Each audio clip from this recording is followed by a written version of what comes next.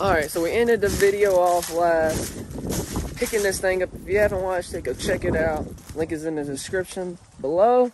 Right now, we're finna unload this thing.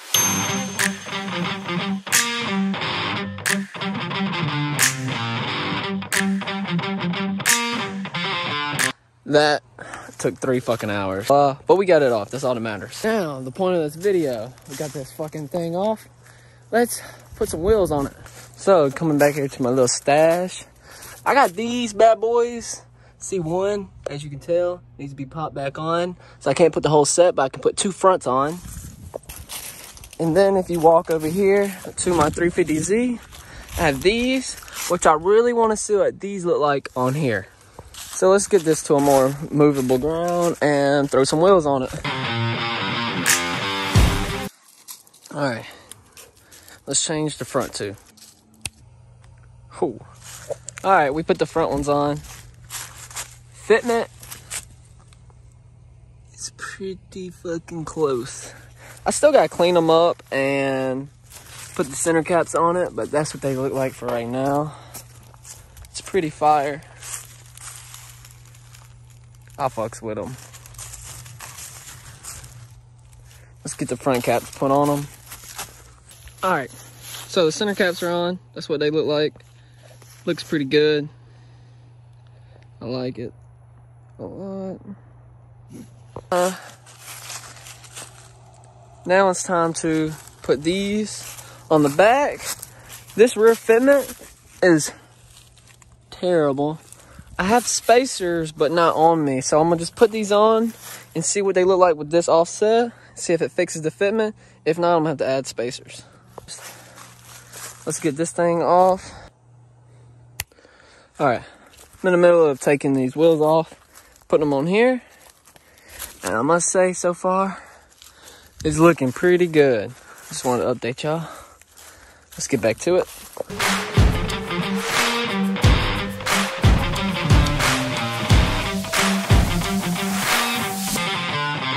Well, we rolled the fender. Thanks, Sam. But the front definitely rubs, and the back no longer rubs. But look at the fitment. Pretty slick. Not bad. Looks good. I'm gonna put the back ones on the front too and take these off. But I do like how it looks right now.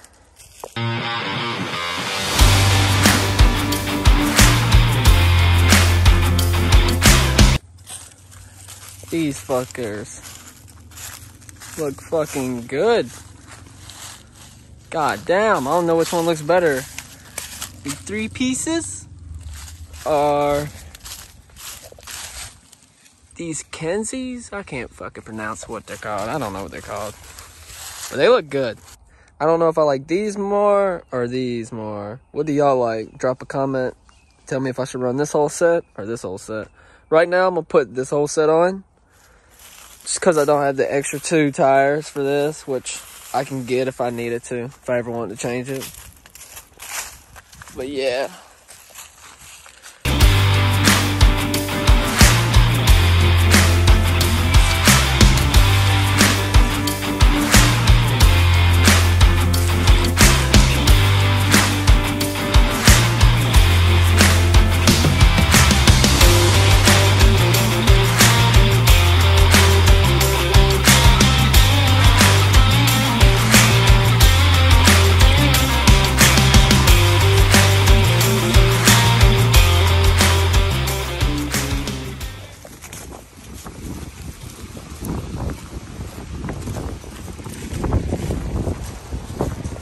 So, huge update.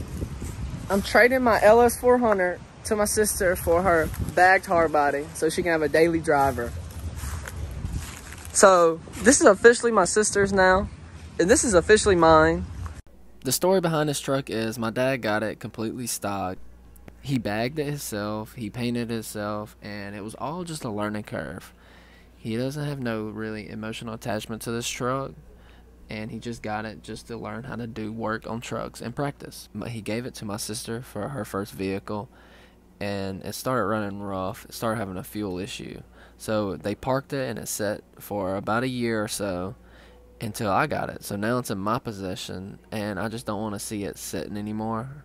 I want to actually see it in its prime or and being enjoyed. So I'm about to try to crank it up and go give it a good wash because it probably has not had a wash in about I'd say a year and a half to 2 years. So let's get all this pollen off and see how it goes.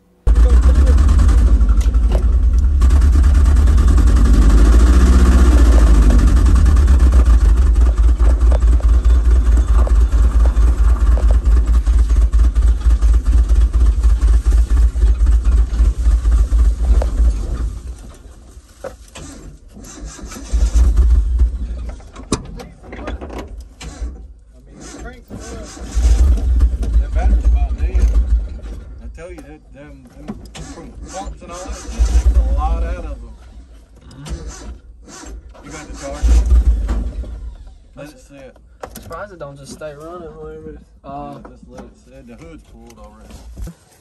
Barely. I mean, it's been sitting up for over a year. It needs air and needs yeah, that wash. back tire needs a little air in it. Let me lift it. Brand new tire there. It's nice how these work though. You know what? Because they don't I mean, work in it's a everything. little truck. You can hear the doors. I mean, yeah. All right. That made a total difference. Like big old difference. This paint actually looks pretty good. My dad did this paint job in this yard, right up past, right on the other side of that shed. And for the first time him ever doing a paint job out in the yard, it came out actually pretty damn great. He loves it. Of course, he sees all the flaws in it, but if you aren't a paint expert, you do not see the flaws and it actually looks pretty damn good. But yeah, it washed up the bags lifted up great. I moved it from right there where it set for about a year to right here and it did all right. It just needs two batteries instead of one. So one can work the air compressor and everything and one can work the vehicle. But uh, let's crank this thing up and move it.